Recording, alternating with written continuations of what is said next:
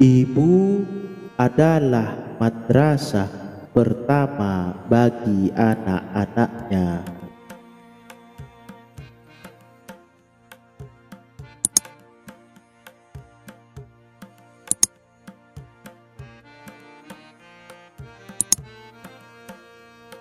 Bismillahirrahmanirrahim Puji syukur Alhamdulillah Kita bisa berjumpa lagi di channel ini.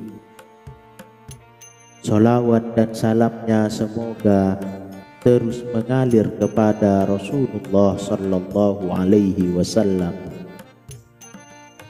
Allahumma salli ala Sayyidina Muhammad wa ala ali sayyidina Muhammad. Semoga kita semua diberikan kesehatan Rizki yang melimpah Umur yang berkah Dan diampuni semua dosa-dosa kita. Amin. Ya Rabbal Alamin. Saudaraku yang budiman ada sebuah kata indah yang berbunyi Al-um madrasatul ula. Iza a'dattaha a'datta sya'ban tayyibal a'rafi Artinya Ibu adalah madrasah pertama bagi anaknya. Jika kamu mempersiapkan dia dengan baik, maka berarti kamu mempersiapkan bangsa yang baik pokok pangkalnya. Hafid Ibrahim, seorang penyair.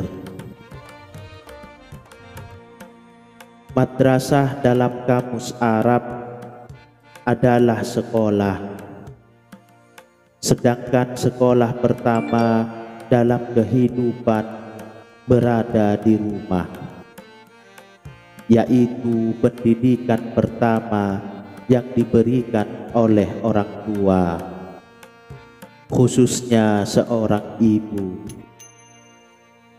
Sebab selama di dalam kandungan secara tidak langsung ibu telah mengajarkan calon bayi tentang apa itu cinta, kasih sayang, dan lain sebagainya.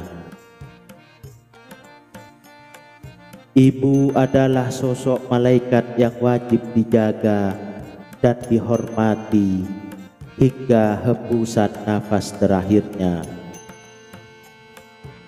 Bahkan Tiada yang bisa melebihi cinta dan kasih sayang seorang ibu kepada anaknya. Dan seorang anak tidak akan mampu membalas pengorbanan seorang ibu. Karena ibu adalah bidadari yang paling hebat karena telah melahirkan ke dunia nyata ini.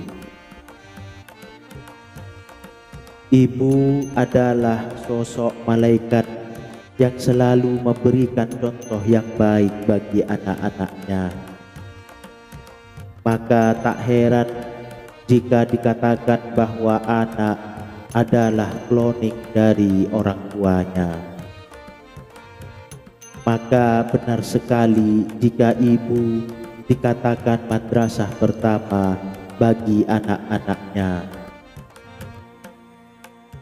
sudah bukan rahasia umum bahwa kebahagiaan seorang ibu adalah ketika melihat anak-anaknya tumbuh sehat, cerdas, dan ceria.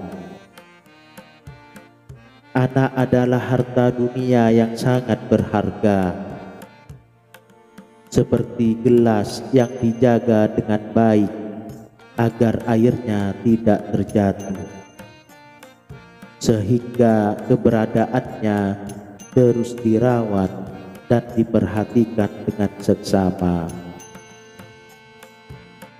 Tugas sang ibu adalah mencerdaskan anak-anaknya. Anak akan menjadi cerdas ketika orang tua selalu mendidiknya, dan pendidikan akan dirasakan oleh sang anak jika ibunya hanya fokus menjadi ibu rumah tangga saja karena pasti akan memiliki waktu yang banyak bersama anak di rumah. Endingnya sang anak akan merasa lebih dekat dengan ibunya. Maka di situlah peran ibu sebagai madrasah harus benar-benar di, dioptimalkan.